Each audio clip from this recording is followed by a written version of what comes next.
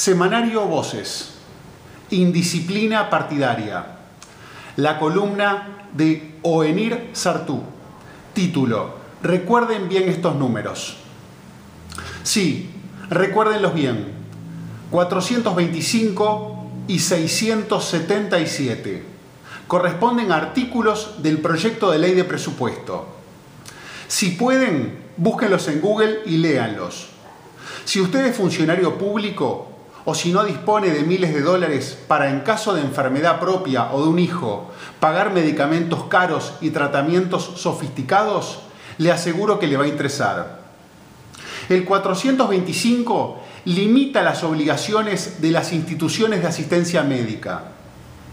Pretende cortar una tendencia que viene imponiéndose en el Poder Judicial, la de obligar a ACE y a las mutualistas a suministrar medicamentos y tratamientos de alto costo a enfermos graves que los necesitan y no pueden pagarlos.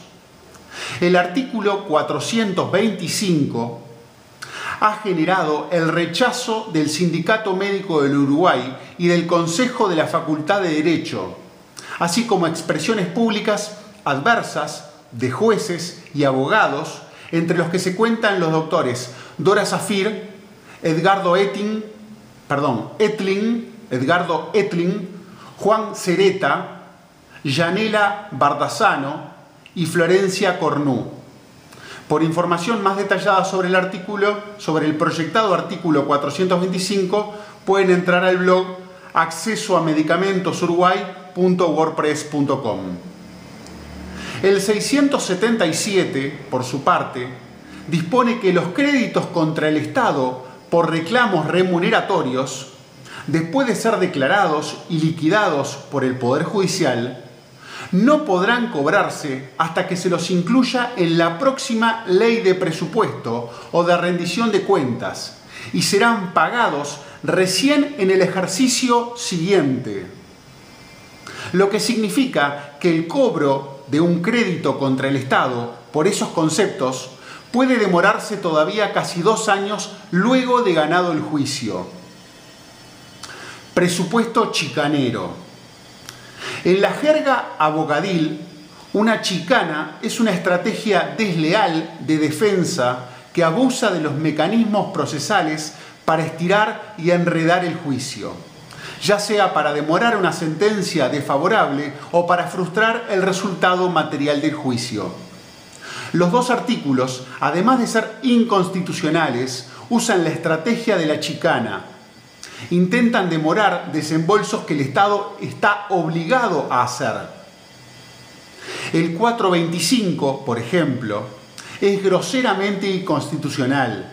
Inconstitucional. Ya ni hablemos de la prohibición de esconder temas no presupuestales en las normas presupuestales. La Constitución obliga al Estado a prestar asistencia y tratamiento médico a quienes carezcan de recursos para pagarlos. Eso significa que, muy probablemente, el 425 será declarado inconstitucional cada vez que un enfermo así lo solicite. Pero claro, una declaración de inconstitucionalidad insume mucho tiempo. Justamente lo que un enfermo grave no tiene. Es una chicana macabra. Juega con el hecho de que el enfermo no podrá esperar a la finalización del trámite. En cuanto al artículo 677, es inconstitucional porque viola el principio de igualdad, colocando al Estado en una posición de mayor privilegio ante el resto de las personas, mayor aún que el que ya tenía. Así, si una persona le debe al Estado, éste puede embargarla y ejecutar de inmediato. En cambio, con el régimen proyectado, si el Estado le debe a un funcionario, por ejemplo, podrá tomarse casi dos años para pagarle, además de lo que demore el juicio. Es difícil imaginar un ejemplo de mayor inequidad. La intención de ganarle tiempo al Estado para el pago de sus deudas, de algunas, no de todas, es evidente. Democracia sin ciudadanos. Durante demasiado tiempo, los uruguayos hemos identificado a la política con el juego de los partidos políticos. Peor aún, la hemos dejado exclusivamente en manos de los partidos y de los profesionales de la política. El sistema económico e ideológico en el que vivimos nos ha hecho creer que es posible delegar los asuntos públicos, desentendernos de ellos y dedicarnos a nuestras vidas privadas, al trabajo, al fútbol, a la televisión, a la compra del último modelo de celular o de computadora. Nos ha hecho creer que es posible no ocuparnos de nada, ser cada vez más ignorantes y cada vez más derechos, y perdón, y tener cada vez más derechos, más confort, y más felicidad, ilimitadamente y sin esfuerzo.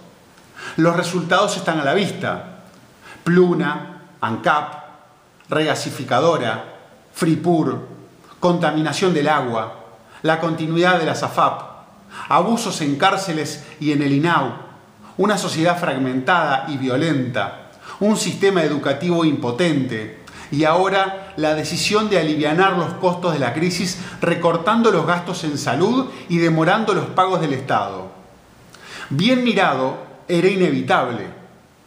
Quien tiene un negocio y se lo entrega a un amigo para que lo administre mientras él se divierte, suele quedarse sin negocio y sin amigo. ¿Por qué habría de ser distinto cuando el negocio es el país y sus habitantes? La concepción neoliberal de la vida en democracia transmite un mensaje muy atractivo. No te preocupes por nada, trabaja poco, vota cada cinco años, consumí y divertite el resto del tiempo, confía y deja las decisiones en manos de los que saben.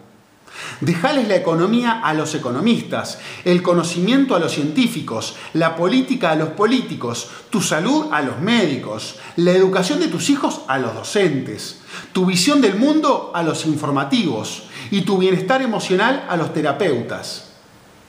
Esa concepción de la vida democrática les concede y carga a la vez a los profesionales de la política con funciones que usualmente no están en condiciones de cumplir. Por definición, salvo escasísimas excepciones, el profesional de la política democrática es un individuo dotado para percibir el sentir y la voluntad de un sector o de todo el universo de votantes. En la medida en que logre e incorpore esos sentimientos y deseos colectivos a su discurso, será electo. Luego, en el mejor de los casos, intentará llevar a la práctica su discurso.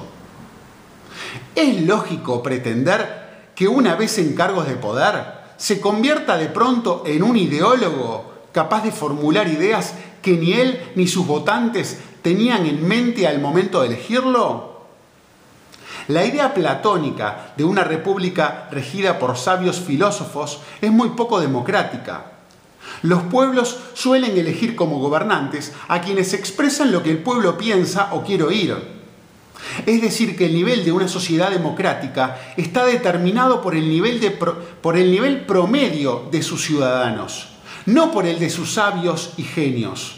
Por decirlo de otra manera, el verdadero centro de gravedad de una sociedad democrática no está en el gobierno, sino en el corazón de la misma sociedad, en el cerebro promedio de sus ciudadanos.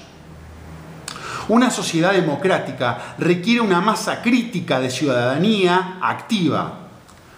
Con el término ciudadanía me refiero a un núcleo considerable de personas con la formación necesaria para entender los problemas públicos, que se, se mantengan informados de la marcha de esos asuntos y tengan el suficiente compromiso como para intervenir e incidir en las decisiones colectivas.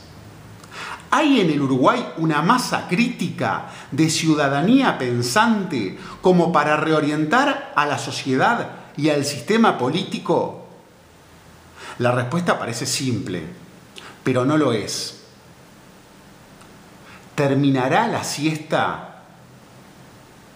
El Uruguay tuvo hace décadas un nutrido elenco de pensadores, artistas, escritores, docentes, sindicalistas, profesionales universitarios, técnicos y valiosos autodidactas que oficiaban como intelectuales, a menudo inorgánicos o no necesariamente orgánicos, elevando el nivel, el nivel cultural e intelectual del promedio de la ciudadanía. Pienso con desorden cronológico en Rodó, en Baferreira, en Grompone, Figari, en José Pedro Varela, en Luisa Luisi, en Couture, en Quijano, en Emilio Frugoni, en los centros culturales fundados por anarcosindicalistas, en la generación del 45, entre muchos otros y otras. Pienso incluso en José Valle Ordóñez y en Luis Alberto de Herrera, extraños centauros, mitad intelectuales, mitad político y hombres de acción. Solos o reunidos en cenáculos, desde la docencia liceal o universitaria, encabezando proyectos sociales y educativos, inmersos en las luchas y en el debate público, esos personajes ayudaron a dar tónica del Uruguay que fue, ah, perdón, ayudaron a dar la tónica del Uruguay que fue. Gracias a ellos, en parte, nuestra ciudadanía fue más y mejor de lo que es. Sin embargo, en la actual situación, movida por hechos injustos, de los que son buen ejemplo el TISA y los dos artículos presupuestales proyectados, empieza a manifestarse un malestar ciudadano incipiente. Ya no la rutina de la oposición parlamentaria, sino una preocupada indignación desde el llano, que empieza a permear a ciertas instituciones como los sindicatos y la universidad, despertando a algunos intelectuales y militantes sociales de su tranquila siesta oficialista. Nuestro problema como país no es reelegir o cambiar al gobierno, es construirnos a nosotros mismos como ciudadanos, formarnos, informarnos, descreer y pensar creadoramente, una tarea colectiva e íntima a la vez que desborda los límites partidarios.